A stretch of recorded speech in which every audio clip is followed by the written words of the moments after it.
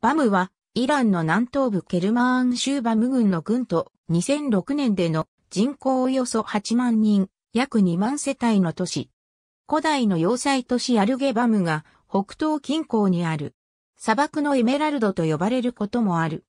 バムはアルゲバムよりも後のペルシア帝国期に構築されたと見られる。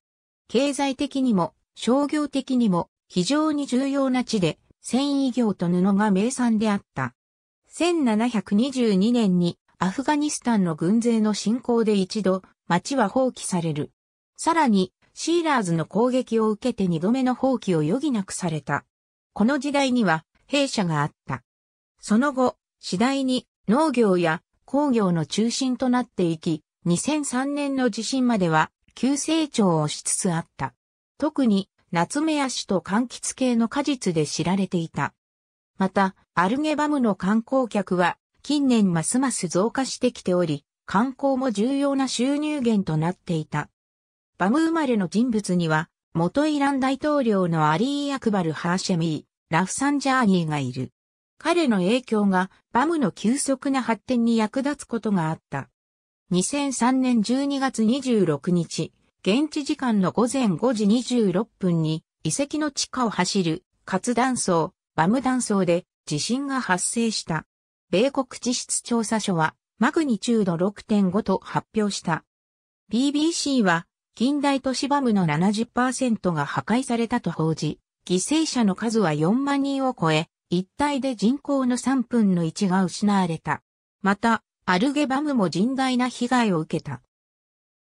古来よりの水路であるカナートがこの地震により破壊されたことによって復興の大きな障害となっている。大規模で懸命な救出作業が行われた。また、日本政府も翌27日に国際協力機構を通じて2500万円相当の物資救援を行うことを決定した。同日、追加で食料援助を目的とする77万ドルの緊急無償資金協力を決定。援助総額は1億800万円相当となった。また、さらに救援、復興を目的として自衛隊を派遣した。2004年、ユネスコは世界遺産リストに掲載するとともに、危機遺産リストに登録した。2013年、遺跡の修復、保全活動が評価され、危機遺産リストから除外された。この世界遺産は、世界遺産登録基準のうち、以下の条件を満たし、登録された。砂漠気候で長く暑い夏と、短く暑さが和らぐ冬がある。平均年間降水量は約 60mm。2007年3月16日、警報もなく時速 130km の速度の砂嵐がバムに直撃し、3人の子供が窒息し、車の事故で2人、死亡、14人以上が怪我を負った。ありがとうございます。